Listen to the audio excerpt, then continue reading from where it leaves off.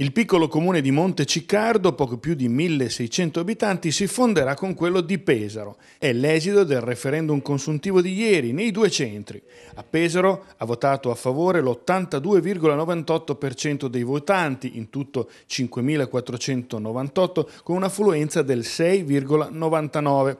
A Monteciccardo ha votato invece sì il 76,61%, 1.301 votanti complessivi e l'affluenza è stata del 63,26%.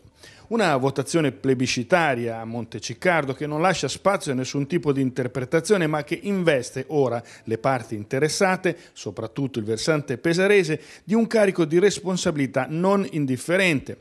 Anche a Pesaro il risultato è stato netto, dice Ricci, anche se l'affluenza non è stata delle più alte. La difficoltà è stata spiegare ai pesaresi che dovevano votare anche loro, ricordando ovviamente quanto già successo con Monbaroccio. Oggi il comune è più forte, più grande e credo che questo ci consenta anche di aprire una prospettiva nuova perché credo che il territorio della Bassa Val del Foglia sia molto omogeneo. Abbiamo già un'unione dei comuni insieme e io credo che nei prossimi mesi dovremo cominciare a ragionare se questa unione dei comuni comuni, soprattutto per i comuni della bassa vallata del Foglia, può diventare nei prossimi anni addirittura un'entità amministrativa unica.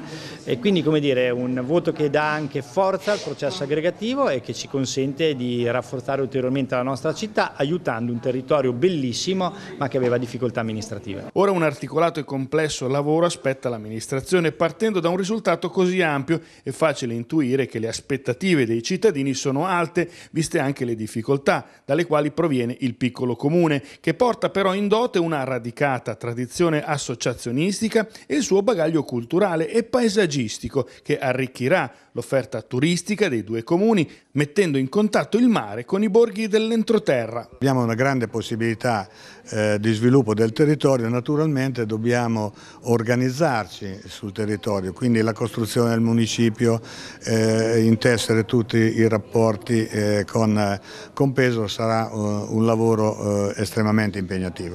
Il nuovo municipio di Monteciccardo, quindi come prevede l'accordo, potrà dare anche parere vincolante sulle questioni inerenti al suo territorio e continuerà a erogare i servizi di anagrafe, cultura, sport e servizi sociali.